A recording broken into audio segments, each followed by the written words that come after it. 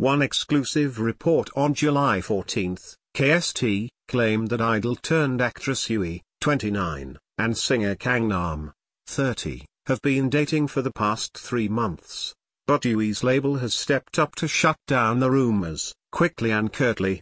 See also, UEE also being considered for role alongside Ye John for Manhole A representative from UEE's label Eurom Entertainment said, UEE's dating rumors with Kangnam are false.